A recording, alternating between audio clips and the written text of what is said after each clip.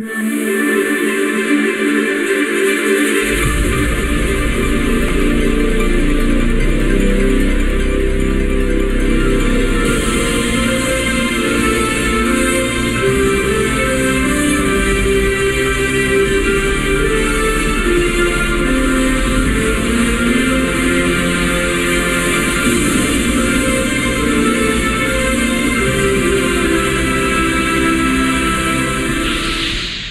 Welcome to Marvelous Light.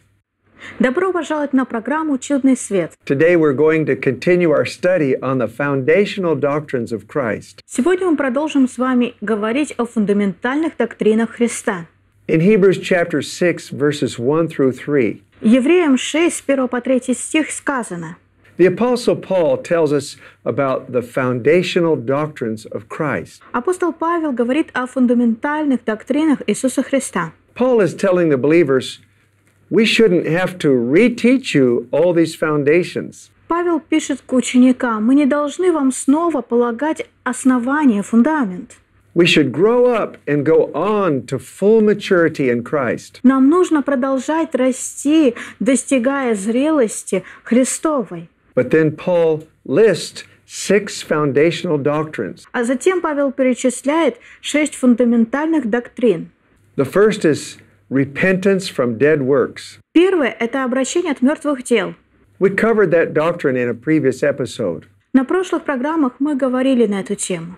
And then Paul says the next doctrine is faith toward God. И далее Павел говорит, следующая доктрина – это вера в Бога. After that, the doctrine of baptisms. Следующее – это доктрина о крещениях. Then the doctrine of the laying on of hands. Затем о возложении рук, The doctrine of the resurrection of the dead. о воскресении мертвых. And then the doctrine of eternal judgment. И затем доктрина о суде вечном. In the coming episodes, we'll cover each one of these doctrines. На следующих программах мы с вами раскроем суть каждой доктрины. Now, in two previous episodes, we talked about the doctrine of faith toward God. Две последние передачи мы говорили о вере в Бога. We discussed that faith is a lifestyle of living by trusting the Spirit of God who lives inside us. Мы с вами говорили о том, что вера – это образ жизни, когда ты доверяешь Духу Божьему. To have faith in God means to look to Him, to rely upon Him, and to follow Him. Верить в Бога означает доверять Ему, полагаться на Него и следовать за Ним. And then we saw in the next teaching on faith that real faith has works. И далее, на следующем учении о вере, мы увидели, что вера имеет действие. James tells us that if our faith does not have corresponding actions, then our faith is dead and it cannot save us. Иаков учил нас о том, что если наша вера не имеет определенных поступков, то она мертва и не может нас спасти. In today's episode, we want to look at another aspect of faith toward God. И сегодня я хочу, чтобы мы поговорили еще об одном аспекте веры в Бога. Faith speaks. Вера говорит. That means faith has a voice. Это означает, что у веры есть голос. In 2 Corinthians chapter 4, the apostle Paul is speaking to the saints in Corinth, telling them about some of the trials that the apostles have been going through. Во 2 Коринфянам 4 главе апостол Павел пишет к святым в Коринфе о тех испытаниях, через которые проходят апостолы. In the midst of the testing and the trials that the apostles are going through, they're still speaking faith. И когда он рассказывает обо всех этих испытаниях, он по-прежнему говорит о вере. Paul is saying that even though we're going through trials, we know that God is going to raise us up. Павел пишет, что даже если мы проходим и через испытания, мы знаем, что Бог поднимет нас. Let's read it in 2 Corinthians chapter 4 verses 8 and 9. Давайте откроем 2 Коринфянам, 4 главу, и прочитаем 8-9 стих. Paul says, "We are hard pressed on every side, yet we're not crushed. We're perplexed, but we're not in despair. We're persecuted, but we're not forsaken. We're struck down, but we're not destroyed." Мы отовсюду притесняемы, но не стеснены. Мы в отчаянных обстоятельствах, но не отчаиваемся. Мы гонимы, но не оставлены. Не излагаемы, но не погибаем. And then Paul goes on to say in verse 13, И дальше Павел продолжает в 13 стихе. And since we have the same spirit of faith, according to what is written, I believed, and therefore I spoke. Но имея тот же дух веры, как написано, «Я веровал и потому говорил», и мы веруем, потому и говорим. Paul says, We also believe and therefore speak, knowing that God, who raised up the Lord Jesus, will also raise us up with Jesus, and he will present us with you. Зная, что воскресивший Господа Иисуса воскресит через Иисуса и нас и поставит перед собой с вами. So Paul is teaching us that the spirit of faith speaks. Павел учит о том, что дух веры говорит. Paul said, I believed, and therefore I spoke. Павел говорит, я веровал, и поэтому я говорил. What did Paul say? Что же говорит Павел? While he was going through trials and testings and they were being struck, in the midst of all of that, they said, God will raise us up.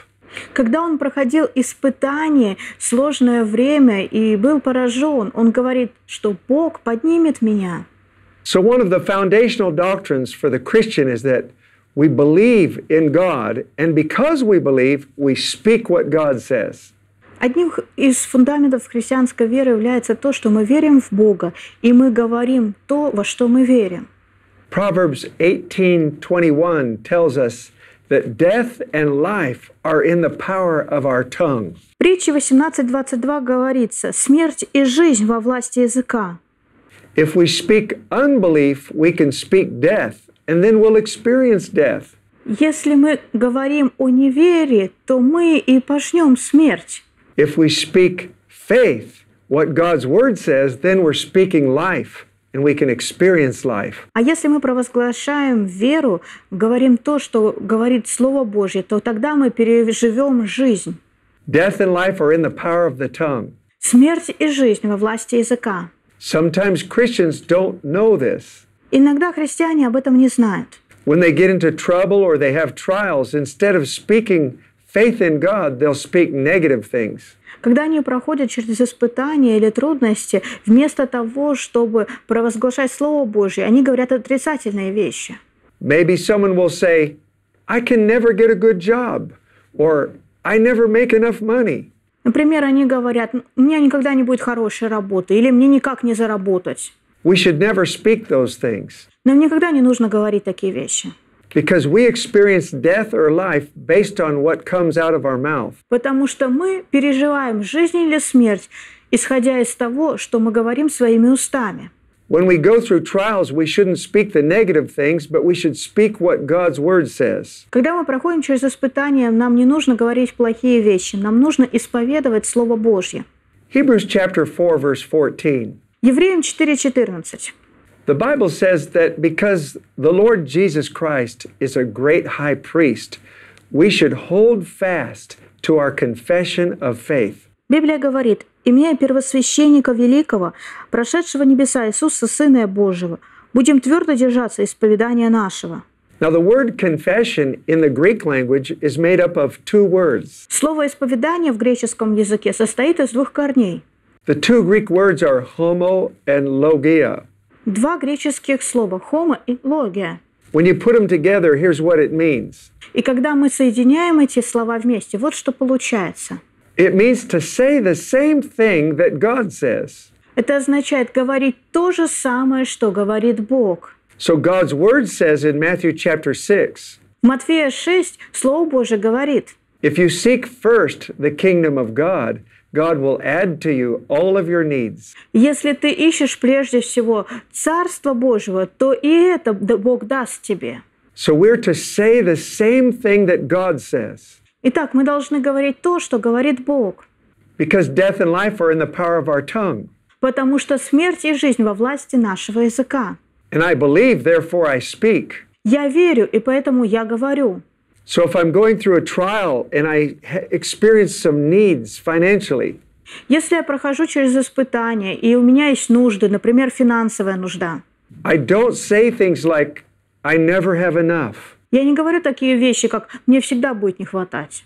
I hold fast my confession of faith Я держусь исповедания моей в- веры. and I'll say, God promised me that if I seek Him first, He'll add to me everything that I need.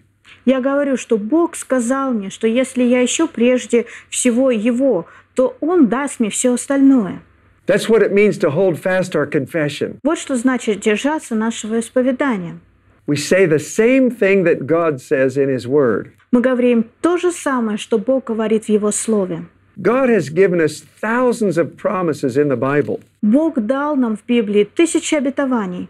The reason God gives us these promises in the Bible is so that we can believe them and then speak them. Бог сделал это по той причине, чтобы мы в них уверовали, и мы начали их провозглашать. This is made clear in Hebrews chapter 13, verses 5 and 6. Это становится еще более ясно, если прочитать Евреям 13 главу, 5 и 6 стих. God says, Let your conduct be without covetousness. Be content with such things as you have. For he himself has said, I will never leave you nor forsake you, so that we may boldly say, The Lord is my helper. I will not fear. What can man do to me? Имейте нрав несеребролюбивый, довольствуясь тем, что есть, ибо сам сказал, «Не оставлю тебя и не покину тебя». Так что мы смело говорим, «Господь мне помощник, и не убоюсь. Что сделает мне человек?» Now, notice what the Apostle Paul is saying. Обратите внимание на то, что говорит апостол Павел. First, Paul writes down a promise out of the Bible. God says, I'll never leave you or forsake you. Первый он пишет обетование из Библии «Никогда не оставлю тебя и не покину тебя». That's a quote from the Old Testament. Это цитата из Ветхого Завета. And he says the reason God gave us that promise is so that we may boldly say it. И причина, почему Бог пообещал нам это, чтобы мы могли смело это провозглашать. We can say, The Lord is my helper. I will not fear. What can man do to me? Чтобы мы могли сказать, Господь мне помощник, не боюсь, что сделает мне человек? So, in every situation that we find ourselves in, we should understand the promise of God, believe the promise of God, and speak the promise of God. Какой бы ситуации мы ни находились, нам нужно открыть для себя обетование Божье, поверить в него и начать провозглашать. So, this principle is repeated over and over throughout the Bible. Этот принцип снова и снова повторяется во всей Библии. God has said, and then he gives a scripture promise, so that we may boldly say it. Бог сказал, и Он дал обетование в Своем Писании так, чтобы мы могли со смелостью говорить. God made man and woman in his image when he created us. Когда Бог творил человека, Он создал мужчину и женщину по своему подобию. God made us like him. Он сделал нас подобными себе. Now, when God created in the book of Genesis, he did it by speaking words. Когда Бог творил, о чем сказано в Бытие, Он творил Словом. God said, Let there be light, and there was. Бог сказал, да будет свет, и стал свет. Whatever God said, it came into being. Все то, что говорил Бог, стало существовать. So, as we understand faith in God, we read his promises, we believe his promises, and then we speak his word. Когда мы верим в Бога, то мы видим Его обетования, мы верим в них и начинаем провозглашать. This is why we should be very careful to never complain and speak negative things. Именно поэтому нам нужно быть мудрыми, чтобы не жаловаться и чтобы не говорить отрицательные вещи. If we continue to speak negatively, we're cursing ourselves. Когда мы говорим отрицательные вещи, мы проклинаем себя. The Bible says that God is very near to us. Библия говорит, что Бог близок к нам. The Bible says, as believers, we have been brought near to God through the blood of Jesus. Библия говорит, что через кровь Иисуса мы стали близкими Богу. So we should never say, Oh, God is so far away from me. Именно поэтому не стоит говорить «Бог так далек от меня», That's not true. потому что это неправда. But if you speak that, that's what you'll experience. Но если ты это говоришь, то ты начинаешь это и переживать. But if we speak what the Bible says, then we'll experience what the Bible says. Но если мы говорим то, что говорит Библия, то в своей жизни мы начинаем это и переживать. The Bible says that you and I, because we believe in Jesus, have been brought near to God by the blood of Jesus. Библия говорит, что через то, что мы уверовали во Христа и через Его кровь, мы стали близкими к Богу. God is close to you, He's with you, and Christ lives in you. Бог близок к тебе, Он рядом с тобой, и Христос живет в тебе. Again, in Romans chapter 10, Paul is teaching us about speaking faith. И снова в Римлянам 10 главе Павел учит нас о провозглашении веры.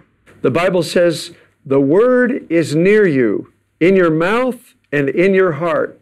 That is the word of faith which we preach. Библия говорит, близко к тебе слово в устах твоих и в сердце твоем, то есть слово веры, которое проповедуем.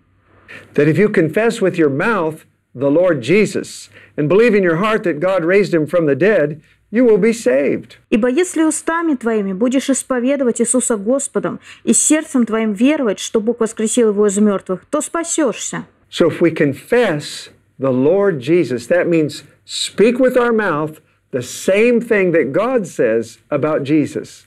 Если мы исповедуем Господа Иисуса, то есть говорим своими устами то, что Библия говорит об Иисусе, And we believe in our heart and speak with our mouth, we experience the salvation of God. если мы верим в своем сердце и говорим своими устами, то мы в своей жизни переживаем спасение от Бога. Paul says, with our heart we believe unto righteousness, but with the mouth confession is made unto salvation. Павел говорит, «Ибо сердцем веруют к праведности, а устами исповедуют ко спасению».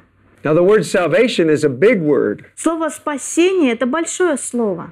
It includes the forgiveness of our sins. Оно включает в себя прощение от грехов. It also includes the transformation of our life into the image of Jesus. Он также включает в себя преображение нашей жизни в подобие Иисусу, That's called our sanctification. что означает наше освящение, That's part of our salvation. которое является частью нашего спасения. It includes being made whole and healthy physically. Оно включает также в себя быть целостным, здоровым физически. So if we believe in our heart the Word of God and we confess with our mouth Jesus Christ and what His Word says, then we'll experience all the salvation that God has given us. Поэтому если мы веруем своим сердцем и исповедуем своими устами, что все то, что включает в себя спасение, приходит в нашу жизнь. Now remember in Hebrews 13, verses 5 and 6, Помните о том, о чем сказано в Евреям 13, 5 и 6 стихе. Paul wrote, God has said, and then he gives a scripture, so that we may boldly say it. Павел пишет, что сказал Бог и дает для этого Писание, так, чтобы мы смело верили. And in Romans 10, Paul says, when we boldly say what Jesus says and what his word says, then we experience the promises of God. We experience salvation. В Римлянам 10 Павел говорит, когда мы верим и говорим то, что говорит Его Слово, то в нашу жизнь приходит спасение в Его полноте. We're not to speak what we feel in our emotions or the pain in our body, but we're to speak what the Word of God says. Нам не нужно говорить то, на что толкает нас наши эмоции или боль в нашем теле. Мы должны говорить то, что говорит Слово.